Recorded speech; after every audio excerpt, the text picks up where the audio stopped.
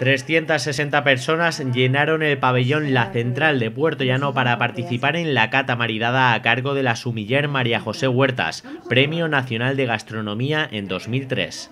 La actividad, organizada por la Diputación de Ciudad Real semanas antes del comienzo de FENAVIN 2019, pretende dar a conocer el mundo del vino desde un consumo moderado, especialmente a jóvenes y mujeres. Venimos a celebrar el vino, que es tanto como celebrar nuestra historia, nuestra cultura, nuestras raíces y nuestras tradiciones.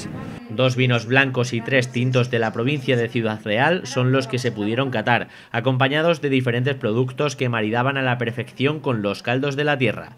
La sumillera en la terraza del Casino de Madrid, María José Huertas, llevó a cabo una excepcional cata para todos los presentes. El vino es placer y entonces a mí me encantaría que poco a poco la gente joven y, y, la gente que somos menos jóvenes lo viéramos un poco de esta forma. ¿no?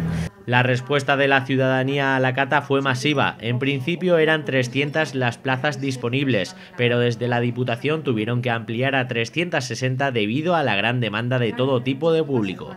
Promocionar el consumo del vino en una tierra como Puerto Llano, que es un sitio donde la gente sabe divertirse, sabe salir, sabe tapear, sabe disfrutar de la convivencia y la compañía, pues también es una oportunidad yo creo que es un extraordinario acierto por parte de la Diputación que felicitamos también en esta, en esta ocasión. La próxima cita en Puerto Llano será Humor con Vino el viernes 5 de abril a las 8 y media de la tarde en el Auditorio Pedro Almodóvar, siendo la entrada, como en todas las actividades, totalmente gratuita. Tan solo hay que inscribirse en la web www.laculturadelvino.com.